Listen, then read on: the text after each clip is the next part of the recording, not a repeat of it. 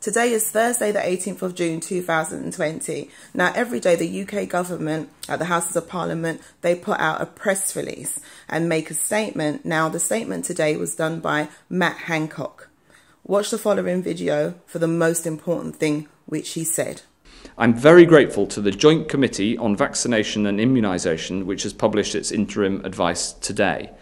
They recommend priority vaccination for two groups frontline health and social care workers, and those at increased risk of serious disease and death from coronavirus, including, for example, adults over the age of 50 and those with heart and kidney disease.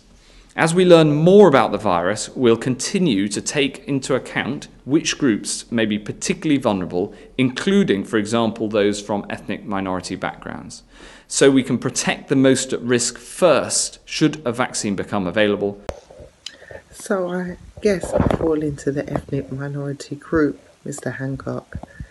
Why should your vaccines be trialled on me and my people? Why? Africa, wake up. We've already had people die for them from their trial vaccines.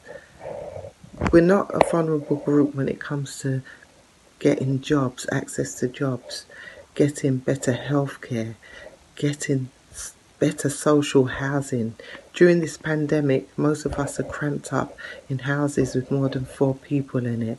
They didn't find us as a vulnerable group then, but for the vaccination they do and want us to be the first to have access to it. Wake up, people, especially Africa, because they're coming for you. Wake up, please.